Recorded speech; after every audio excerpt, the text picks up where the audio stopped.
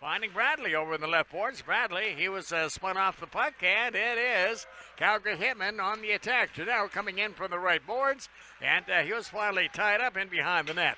Gennaro, a pretty gritty player out there for Calgary. Wrap around, and they score. The puck finds its way into the net, and it's Calgary Hitmen that uh, get the first puck. I think uh, Nick Schneider corner. Stukel hands it off, and a shot that goes wide of the Tiger goal. Stallard again back in the blue line to Gennaro. Gennaro shoots. He scores. Gennaro picks the upper right hand corner, and the Calgary Hitmen are back on the scoreboard again. And uh, Gennaro with kind of a seeing eye shot.